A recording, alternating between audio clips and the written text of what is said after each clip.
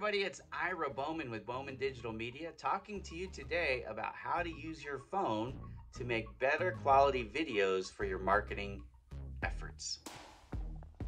Here is an example of video shot using portrait mode on my phone. Notice the spaces to the left and to the right. This is why we don't typically use this orientation for business photo or video use, right? So instead, in the next clip, I'm to show you what it looks like when we hold the phone sideways. Okay, so now I'm holding my phone sideways instead of straight up and down. Most of you are shooting videos like you consume your phone with the phone elongated or in the portrait mode. And I want you to make this switch to landscape because every platform except for Instagram pretty much uses this video setup. 1920 by 1080 is the standard resolution for videos.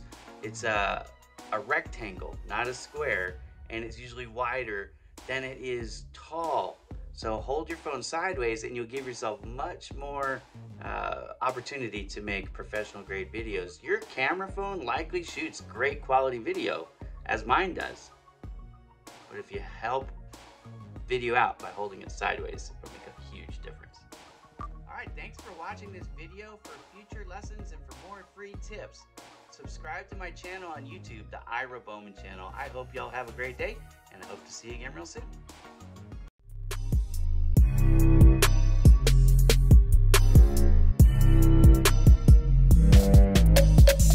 BowmanDigitalMedia.com